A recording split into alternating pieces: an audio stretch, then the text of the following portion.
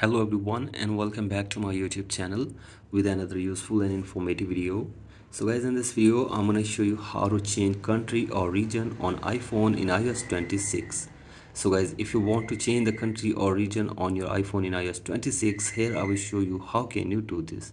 So guys for that you have to simply watch this video till the end. So guys first of all go back to your home screen and now open settings on your device. And from here go to your profile and now scroll it below and go to media and purchases and go to view account. And wait here for some seconds. And from here you can see country region option simply tap on this.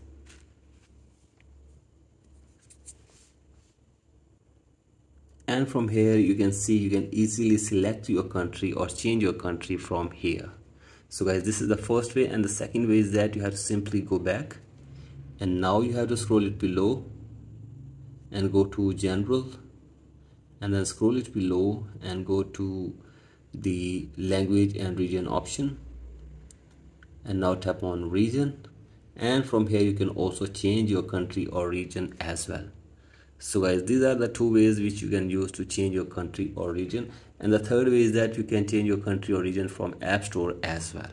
So guys these are the ways which you can follow to change your country or region on your apple device in ios 26 so guys that's it for today's video. Hope this video helps you. Please like and subscribe to my youtube channel as well.